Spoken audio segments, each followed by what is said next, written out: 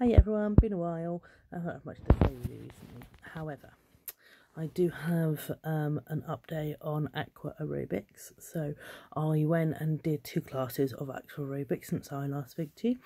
Um, one I did in the middle of the day, not being at work, meant that I could um, go and do a daytime class, which was interesting. It had lots of um, retired people, I think, doing um, um, quite slow paced. Um, I mean, I didn't ache afterwards, my joints were fine, so that was a bonus. But I did say to my husband, I won't rule it out until I've done an evening class, you know, so that people have finished work, etc. afterwards. So that is what I did. I went and did an evening one in, at the local leisure centre, and it um, was a bit more upbeat, but really not for me. The one thing that I can probably is fair to say is that um, aqua aerobic teachers are possibly insane. Um, in a good way. I mean, they're very lively, very excited, um, but I'm very enthusiastic, so slightly mad. Um, uh, lots of people had lots of fun. I could tell they were all having lots of fun doing it. However, uh, you know, a few weeks ago I was deadlifting. I just wasn't as up for sitting in the pool going woohoo woohoo. So um, I probably will give that one a miss, um, unless I can't do anything else, and then I will do um, aqua aerobics, I suppose. Um, I've been doing yoga and Pilates too, which has been good. Um, all my joints. I did go to soft play the other day and put my back out, which was wonderful. So I've now got slightly achy back as well as everything else. Um, but um, yeah, hopefully that will go. I mean, I'm going to the hospital today, so maybe they can just give me some really strong painkillers and wipe that out. Um, but yes, I go in this afternoon. I'm going in between four and five. Uh, no, sorry, five and six. Um, I'm not really quite sure why I go in the night before. Um, the people on the phone didn't really know either. Um, I think it's maybe just to make sure that you're prepared for the surgery for the next day. Um, so yeah, by this time tomorrow hopefully it'll all be over and it'll be done. Um, but I don't I don't actually know where I am on the list or anything. Um, so I packed yesterday, um, which was interesting because I couldn't really know I didn't really know what to pack.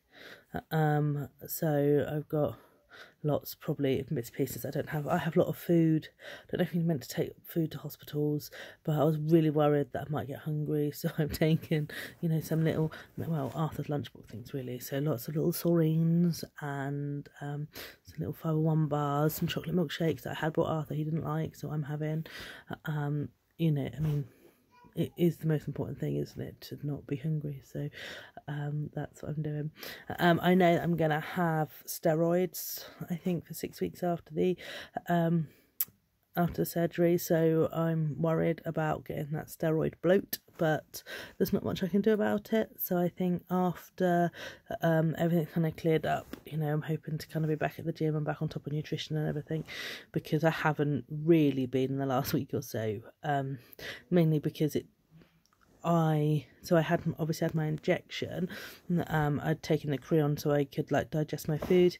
Um, and then once kind of like my appetite came back, it came back with a vengeance. Um, and so I was really hungry, so I did eat quite a lot um over the last week. Um, but you know, we'll manage that afterwards.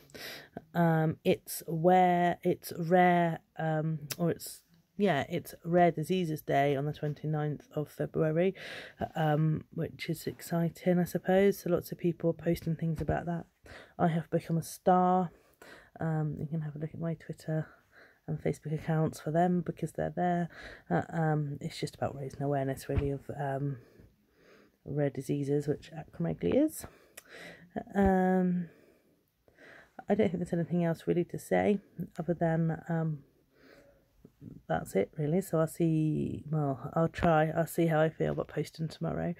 Um, but um, if not, it will be definitely in the week, and um, I'll be able to tell you how much of the tumour was removed, etc. Uh, um, hopefully, or at least give an update about how the surgery went.